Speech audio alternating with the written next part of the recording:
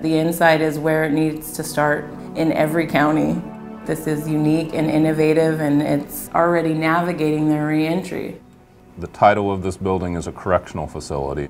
With the programs that we're putting in place, we are trying to provide people opportunities to leave here better than when they came in here.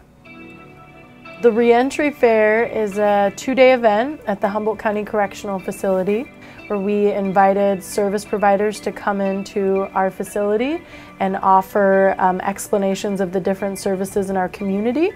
And the next day we have employers come and offer different employment opportunities. You know, at first I was a little hesitant about it. I was like, oh, I don't really want to go meet with these people. I'm in jail. What's it gonna look? You know, what's it gonna look like me being in jail and meeting with these guys? And it was the total opposite of what I thought was gonna happen. We bring the service providers and employers into the day rooms so they have direct access to the inmate population and are able to connect, tell about their resources, their job opportunities that they have for ex-offenders when they get out of custody and are looking to reenter society. They're not saying, oh, we'll see you when you get back. They're saying, we don't want to see you come back. They're bringing people in that can help them. That changes the relationship, which creates a bridge that's being built to where they're already comfortable with the people who are coming in, the service providers. So when they go out, they've already met them. There's no fear there. They're removing the fear of connecting with the service providers that can offer the help. They've already established that relationship and can go and continue the relationship once they're outside the walls. This program is definitely effective. It used to be you just get out and, you, and you're out on the street. Now they're making connections in here now each inmate can go to two or three different people and when they get out, be able to make connections and actually be successful.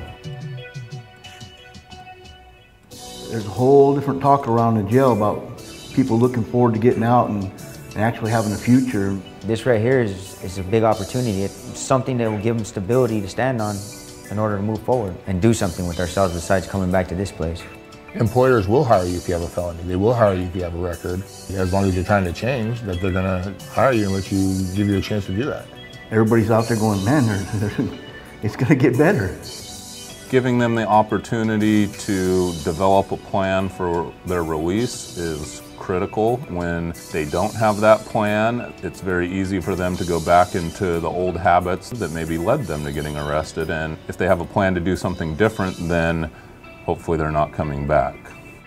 In the law enforcement community, to see that we are making a positive impact on people's lives, I mean, that's kind of why we're here. I feel like if somebody wants to change their lives, then we should do everything to support them. There are mothers, there are fathers, there are brothers, there are sisters, there are friends. People forget that the jail is a part of our community. So by investing in people that have been incarcerated, we are investing in ourselves.